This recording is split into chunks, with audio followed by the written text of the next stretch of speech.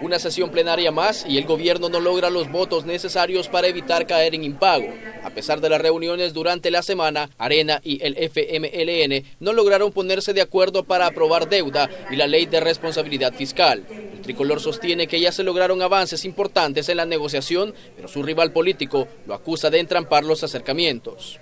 Hay un tira y encoge al interior de Arena y eso puedan decir cualquiera, están sujetando a algunos miembros del diputados porque hay al interior esa disputa interna, aquellos malos nacionalistas, diría yo, que están o la apuesta del impago.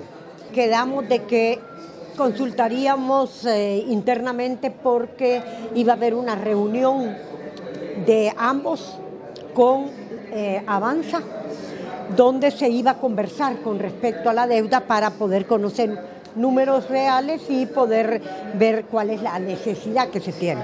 Nosotros mantenemos nuestros argumentos de que sean 500 Casa Presidencial recibió dos veces durante esta semana a los diputados de oposición. A pesar que el panorama parecía cordial, el secretario técnico Roberto Lorenzana reclamó a la derecha de tener divisiones internas en su fracción legislativa. Y precisamente los diputados que no forman parte de las negociaciones se defendieron de los señalamientos. Que toda la fracción, todo el grupo parlamentario de Arena está detrás de nuestro partido. Aquí no hay ninguna división y, y apoyamos plenamente las decisiones. Durante la reunión de la mesa fiscal, otro tema se puso en agenda y es la derogación de la reforma de ley del Fondo de Obligaciones Previsionales, aprobado hace algunos días en el Congreso y que le dio luz verde al gobierno para tomar los fondos de los pensionados. Ellos sí ya muestran una disposición a derogar el FOP, pero contra algo otras garantías de que se va a fundear.